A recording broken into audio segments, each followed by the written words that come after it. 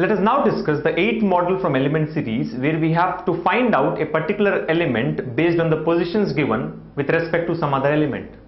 The question is, in the given series, which element is 8 to the left of, 4th to the left of dollar? As you can see here, the difference between this model and the fourth model is, in model number 4, we were trying to find out a particular element from one of the ends, that is either right end or left end. But in this model, we are trying to find out an element with respect to some other element. Let us first find out the element which is fourth to the left of dollar. So fourth to the left of dollar would be fourth to the left of dollar would be hash.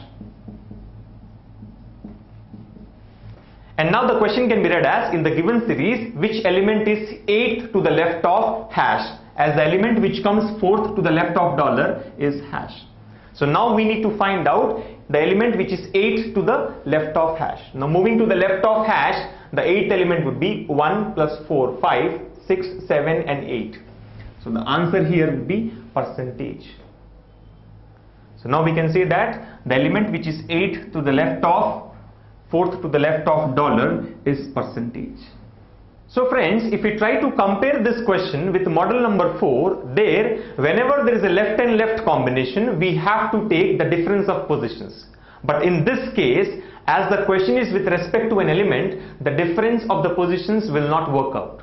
Here what we need to do is, in case of a left and left combination, add the two positions. That is 8 plus 4 is 12. So the answer can be taken as 12th element to the left of dollar. So if you observe, this is quite opposite to what we have done in model number 4. So whenever there is a left and left or a right and right combination, the two positions have to be added. And when there is a left and right or right and left combination, the difference of the two positions have to be considered, which is quite opposite to the model 4. That's all from element series. See you in the next session. Thank you.